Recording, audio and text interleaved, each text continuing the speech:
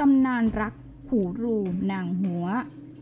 ว่ากันว่ามีหมู่บ้านหมู่บ้านหนึ่ง ชื่อว่าบ้านโคกกง และอีกหมู่บ้านหนึ่ง ชื่อว่า บ้านทุ่งมุนสองหมู่บ้านนี้ติดกันรักใคร่สามัคคีกัน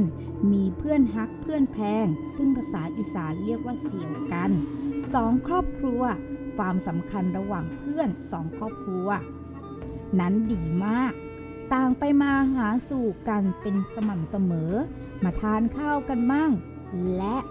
และบางครั้งก็เอาของมาให้กันมั่ง เป็นไงมั่งอาหารที่ฉันทำอร่อยดีไหม อร่อยดี ฝีมือไม่ตกเลยนะเธอ เออ แล้วเนี่ยเป็นไงมั่ง เธอแพ้ท้องมากไหม ท้องเธอใหญ่กว่าของฉันเยอะเลยนะเนี่ยแพ้ไม่เยอะจ้ะไหวอยู่ แล้วเธอล่ะแพ้เยอะหรือไม่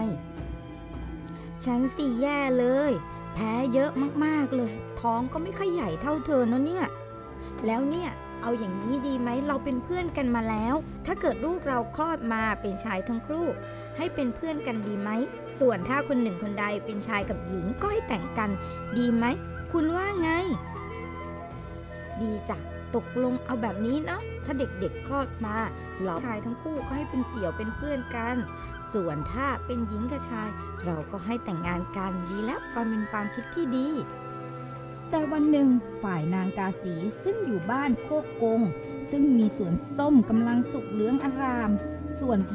ส่วนฝ่ายบ้านทุ่งมนเกิดอยากกินผลส้ม ไปชวนสามีและพวกมาขอผลส้มกิน อ้าวรดน้ำต้นไม้อยู่เหรอ จ้าหมาซะเย็นมีอะไรหรือเปล่า อ๋อ ฉันเดินผ่านสวนส้มเธอน่ะ เห็นส้มหน่าทานจะมาขอเก็บหน่อย ไม่ได้ ส้มส่วนนี้ฉันเก็บไปขาย เธอเก็บไม่ได้นะ ฉันต้องรีบหาเงิน กับเพื่อนกับฝูงเนี่ยนะแค่นี้ก็ไม่ได้ห่วงไปได้ ได้ งั้นเราเลิกเป็นเพื่อนกันเลย หลังจากเกิดเหตุการณ์นั้น ก็ต่างที่จะไม่ให้ลูกหลานคบค้าสมาคมกัน เพราะเกิดความแค้นใจนั่นเอง ฝ่ายนางกาสีไม่ให้ส้มนั่นเอง 8 ปีผ่านไปนางกาสีมีลูกสาวชื่อ นางอีกฝ่ายนั้นมีลูกชายชื่อขูรูทั้งสองเกิดรักใคร่กัน โดยไม่ฟังคำทัดทานจากฝ่ายพ่อแม่ทั้งสองฝ่ายเลยแม้แต่น้อย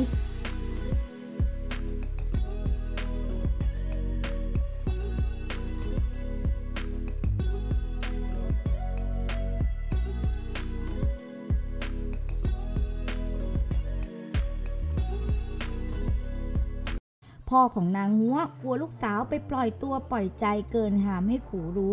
เลยออกอุบายให้นางงัวนั้นแต่งงานกับคุณร้างล้านเจ้าสัวมหามหาเศรษฐีปล่อยเงินกู้ผู้กว้างขวางและเอารัดเอาเปรียบในหมู่บ้าน วันหนึ่งขุนร่างน้าชายได้ทวงเรื่องหนี้สินที่พ่อนางงัวเคยหยิบยืมไป และแม้ไม่มีให้ในที่สุดน้าชายของขุนร่างบังคับให้นางงัวแต่งงานเพื่อชดใช้หนี้ นางไม่ยินยอมเพราะมีใจให้ขูดูอยู่ จึงตัดสินใจในคืนก่อนพิธีแต่งงาน แค่หนึ่งวันเท่านั้น มอบกายมอบใจให้ขูดู และหลังจากนั้นนางงัวได้ตัดสินใจผูกคอตาย